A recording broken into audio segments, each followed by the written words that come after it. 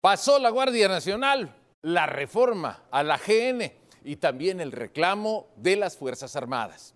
Déjeme recordarle que se esperaba cuando menos un retraso, discusiones más lentas, más atemperadas entre los senadores, pero inopinadamente en la madrugada de hoy quedó aprobada la reforma por vía de leyes secundarias en el Senado de la República. El presidente del país, Andrés Manuel López Obrador, quien estuvo esta mañana en Zacatecas, se manifestó feliz. No se ahorró los comentarios negativos y el descrédito que en sus palabras merecen quienes votaron en contra. Pero ese es asunto aparte.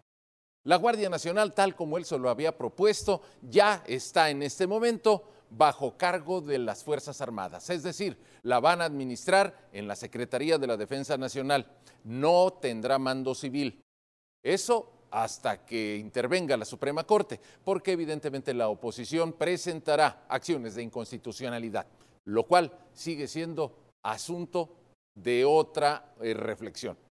Pero me quiero quedar esta noche en el buen entendedor con las palabras de Luis Crescencio Sandoval. El titular de la Defensa Nacional hizo un reclamo airado. Señaló que habían estado esperando desde que les dieron tareas de seguridad nacional que hubiera un marco legal para no operar en la ilegalidad, porque dijo, los militares hemos estado en el filo de la navaja. Y se lo negaron con Felipe Calderón y se lo negaron, dijo, con Enrique Peña Nieto. Así que, ¿cuál es la conclusión? Feliz el presidente, arropado por los gobernadores de Morena y además felicitado y reconocido por el ejército, con quien ha hecho una alianza de la que todos hemos sido testigos.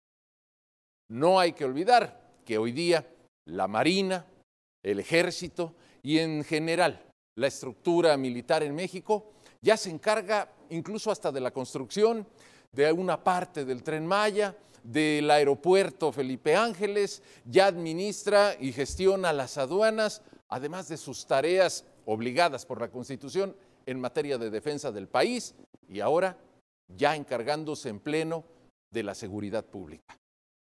Lo que estamos viendo nacer este día puede marcar el futuro de nuestro país para muchas décadas. El riesgo que se ha advertido es que la excesiva militarización nos pueda traer consecuencias nefastas, no hoy, no con los personajes que hoy toman las decisiones, sino en el futuro.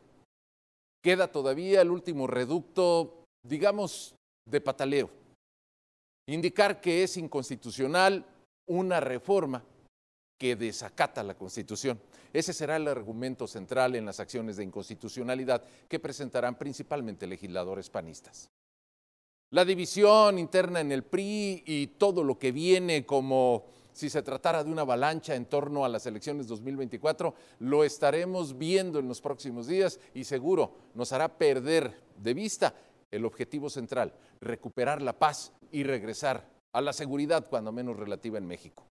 La pregunta que queda abierta y para la cual en este momento nadie tiene respuesta, ni el presidente. ¿De verdad la Guardia Nacional es la estrategia que necesitamos para seguridad? Usted puede empezar a elaborar sus propias hipótesis.